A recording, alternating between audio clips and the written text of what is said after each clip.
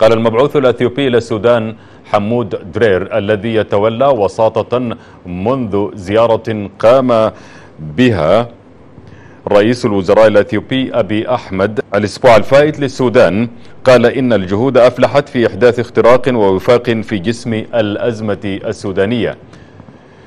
وقال درير في مؤتمر صحفي عقد مساء أمس الثلاثاء بمقر السفارة الأثيوبية في الخرطوم إن المجلس العسكري أبدى حسن النية ووافق على إطلاق سراح جميع المعتقلين السياسيين من أجل بناء الثقة بين الأطراف.